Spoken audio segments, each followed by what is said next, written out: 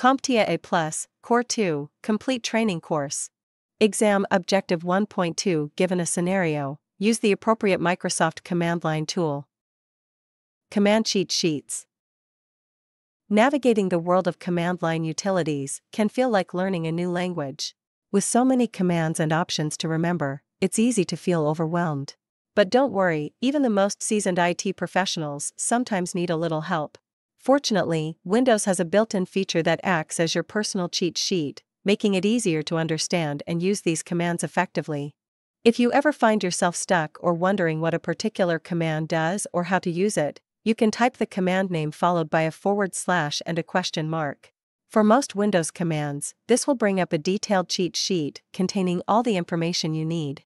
It's like asking Windows to explain the command to you.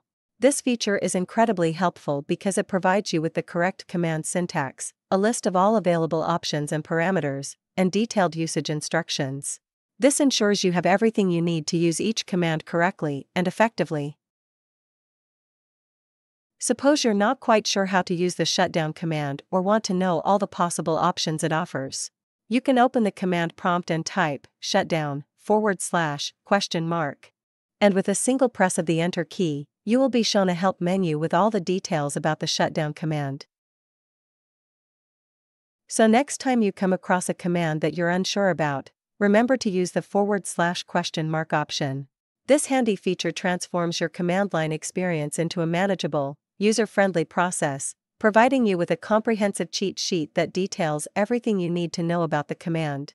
Whether you're troubleshooting an issue, configuring a new setup, or simply expanding your command line skills, this built-in help ensures you're never lost or overwhelmed. Embrace this special command option, and let it guide you through the complexities of Windows commands with confidence and ease.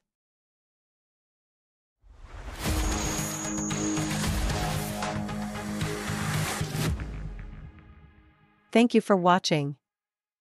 Subscribe for more great content.